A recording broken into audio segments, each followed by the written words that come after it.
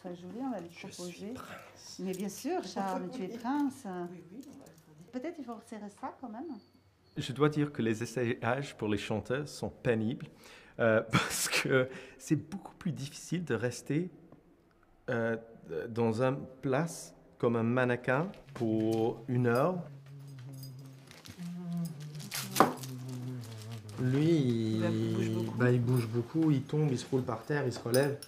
Donc le pantalon, il va trouver une place qui est la plus basse possible euh, assez Ah oui. vite en scène. Quoi. Parce que sinon, on vire le cordon, tu vois, qui n'est on pas met- sûr et on fait une fermeture, euh, glissière invisible ou quelque chose. Ouais, ouais, tu vois. c'est ça. Surtout qu'il est censé être affamé, donc. euh, Ah.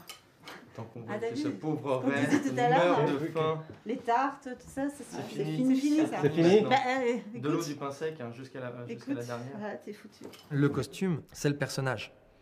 C'est moi, en tant que metteur en scène, ce que je peux amener comme peau du personnage au chanteur. C'est-à-dire que le chanteur, lui, doit habiter un personnage, mais moi, je lui amène la peau.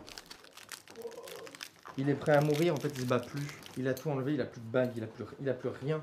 Le seul truc qu'il a, c'est l'habit avec lequel il s'est barré, qui est rongé, qui a pris la pluie et tout. Mais euh, Dans le sens où ça va être déchiqueté, tu veux Oui. vraiment quelque chose de très très très usé. On est d'accord oui, oui, avec oui, oui, c'est hein vraiment euh, abîmé, il y a des trous. il y a Donc des- là, on va faire un lourlet, puis C'est après, on pas va... une explosion quand même. Les costumes en général, c'est aussi euh, les chaussures, les accessoires, les bijoux, le maquillage, euh, la coiffure ou perruque. Enfin, voilà, c'est c'est tout ce qui va autour du personnage. Et j'insiste sur le fait qu'on fait des personnages.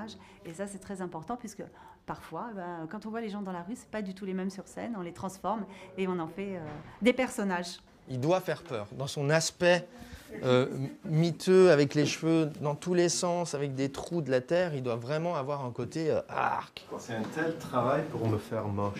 Tu te rends compte? C'est c'est difficile, je dois dire, mais Et puis la cape, elle est géniale. C'est ton doudou, quoi. c'est la cape de papa, c'est le seul truc qui te reste de ton père.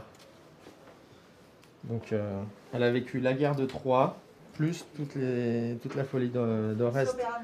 C'est ça, donc. euh, voilà, frac, frac, frac, clac, clac, clac, clac, clac, clac, clac. D'accord on porte pas les costumes pour les répétitions.